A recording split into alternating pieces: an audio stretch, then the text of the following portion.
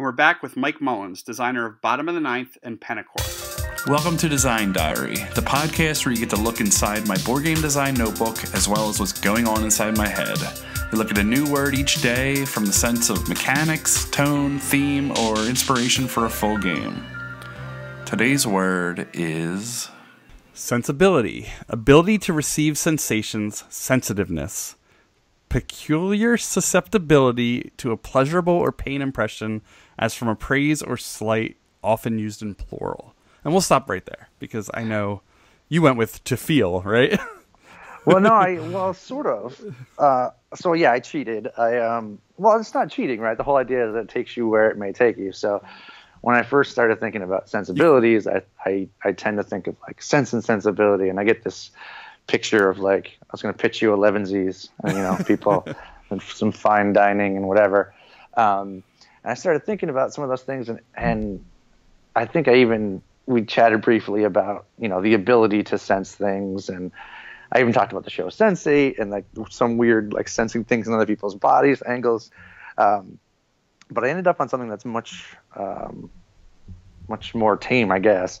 So the Latin root is sensibilis, which is just um, it's an adjective that's ability to be perceived, so something that you can sense. Okay, um, which is similar, but the idea that, that, made me think of was um, a tile laying game or some sort of card placement, whatever particular vehicle that it ends up being in, where um, the face up part of the stack is what you're eventually going to place, right?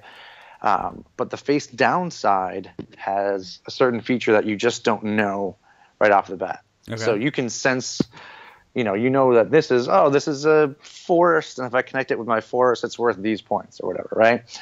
Um, but what you don't know is there's some imperceptible things, and they could have elements. So you could be trying to connect elements like, oh, well, this is actually a dark forest, or this is a um, you know, a weird temporal forest or, you know, any kind of weird thing on the back, right?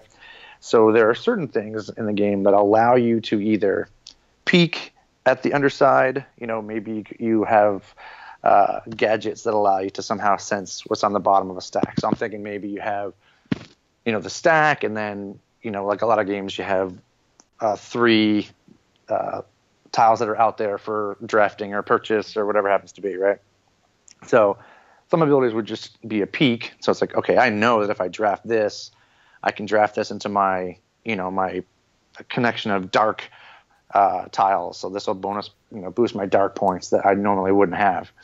Or there's some things that allow you to flip them over. And so then endgame scoring is based on what you can see and you're actually assembling. So, you know, whether it's adjacency rules or you know, there's, there's a million different ways yeah. to, to score tile laying things like, oh, you know, unique tiles or blah, blah, blah.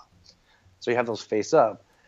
Uh, so there's, there's one round of scoring, but then you also reveal any tiles that are still face down and score again based on the, uh, you know, the more ethereal qualities that you couldn't sense when they were face down.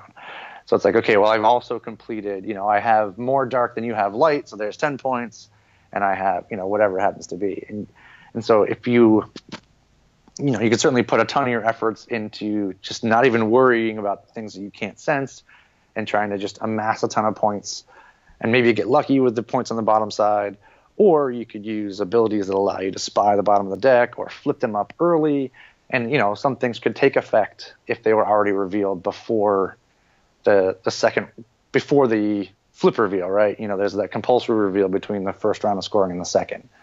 Um, so that was my my framework of how this would work. Would be a hidden information tile laying game, where whether it's additional cards or you know the face up sides of the tiles. Maybe you draft a tile that doesn't score, but once per round allows you to peek at an opponent's face down something or you know whatever happens to be. So that there's something neat where you had me thinking about you said that the deck is it's face up when you start. The cards are all face up, and the the backs have the extra hidden information.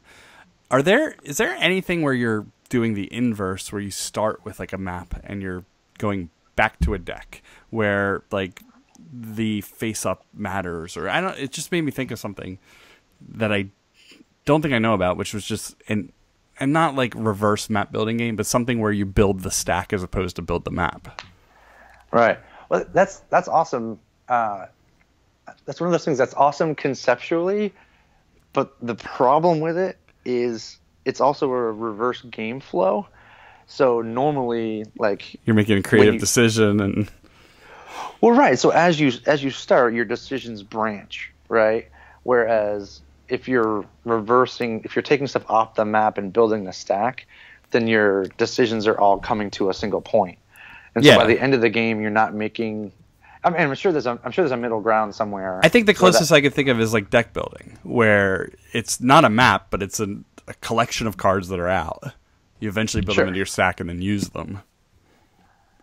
Yeah, absolutely. The only difference being uh, is that you can't in any way. It's like a store window. It's not a map. You can't in any way interact with No, exactly. the cards. So, but I like the idea that because you could certainly engineer it to where the game doesn't end when the map is gone. Like you don't have to actually build the stack, right? You have to. You're Yeah. exploiting part of the map, so you're taking half of it away by the time the game is over.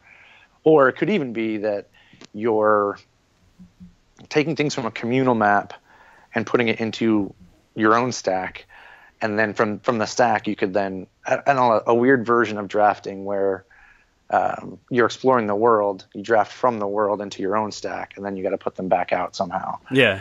um, just, you- just to avoid that weird point in time where it's like we're and I'll take the last tile and put it on top of this you know what I mean like you Yeah. start to wind down the no, it needs to have another aspect to it. Right. So, um, the drawbacks of this particular design are that there are just so many of those type of games. I'm not saying there's not room for more tile layers, but, Oh, like, it's definitely popular. Yeah. but it's like a, you know, there's almost no matter how creative I try to get, like, okay, well, these must all- be in a line. Aha. You know, well, that's in this game, this, this, this, and this. Okay, well, they must all be unique. Oh, well, that's in these 12 games. You know, like yeah. trying to think of new ways to, to lay tiles and have it be compelling is, is one thing.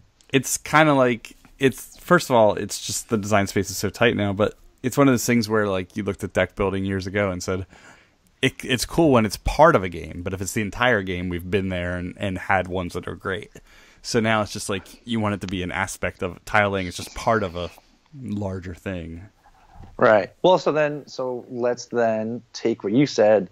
You use the word map. So we're not just making a territory, we are physically exploring this map. So Yeah. the other thing we'll add to it is actual exploration. And that's how you reveal the bottom side of tiles. That's cool, yeah. And so, and so maybe as I'm moving around, like I've explored too many, uh, too many tiles that are counter to my personal energy. And so now, like, I can't get out of this section without help, and so I have to spend something to get out of this area that I back myself into a corner, or, um, you know, the things that we can't sense are actually uh, monsters or things like that. So, like, if I wander into a territory, then you can play a card from your hand that affects me, but only if it's on the right tile, which you wouldn't know unless you'd already peeked, or, you know. So if we combine the yeah the act of something just being physically not able to be seen because it's on the back of the tile with our characters in play being the ones that have to figure it out. That could add something different to the whole tiling thing. I had um I didn't have much about this. I basically tried to I my first idea what I told you was the actual sensations between between other players, things you can see here and things like that. And I always like to play around with things like that, but it's also it gets into that sort of it's not the same as dexterity, but it's close. Like the, it's almost party game-ish or Yeah, well, like there's like a design design the mouth guard game where it's like I can't quite hear you, or Yeah. design that they're just out there, you know. But uh, the other idea I had was just from a thematic side was just making things that are not um, living to to have some sort of sensation and senses. And I thought of it as you know thinking of like you've got this this let's just go with a map and then there's this tree here and that tree can hear and what does that do and what does that mean and how does that change games and how is that different than i just had a person there that could hear you know just Right. like that is my ear but if i build this tree out here it does tree things and also human things like i what are you doing over there? I was just doing some tree things. I'm growing. I'm sprouting. I, my leaves are falling off. But no, I just thought about that in in in both in in um, territory types as well as just straight like inanimate objects and things like that. Like this Oh, sure. can Well- this can this is your eye, but it's also something else. Oh, absolutely. And, and when you think about, you know, the the action being imbuing something with a power is kind of fun, right? So it's like, all right, well, I've explored this territory, and I and you know, if I look at the icons, it says there's a waterfall, there's some rocks, and it's a tree.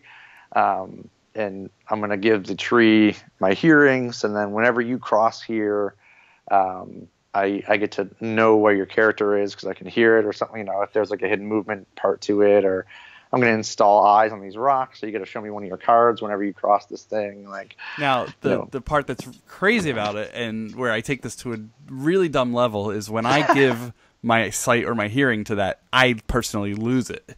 So it, it affects me as a player while I'm playing. Um, I have to close my eyes or cover my ears, or it affects my character. Can't do that because I've given it to this tree. right. You know, it's terrible, but you never know. it's terrible, but well, I mean, there's different ways to approach it. So, you know, uh, if you give your eyes away so you can see your opponent's hand, then yeah, exactly. you can no longer look at one of your cards in your hand or something like that, or you know, you don't your opponent doesn't see. You don't flip it around like an Hanabi, but you if you have a hand of five cards, one of them has to be face down. Yeah, you've got a random that you can. Absolutely. So you Here is effectively have it. yeah, here is just you know players get to do another action that you don't get. I mean that's kind of like C as well, but they do something that you don't see. Here, here is a Yeah. tricky one. I went I went with like footprint, footprints, but it could also be some sort of any other kind of communication.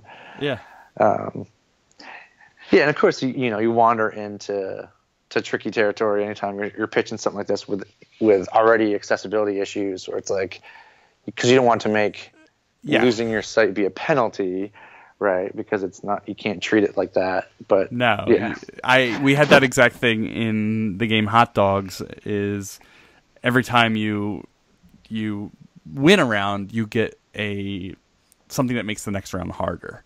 And I don't remember what we called them, and it wasn't a disability, but it was something along those lines. And one of the people that played it was just like, "Well, these are all me playing normally," and it was very like in a very playful way the way that he he said it, but it was just like, "Oh yeah, that's that's not nice," you know. I don't. that's not the intent.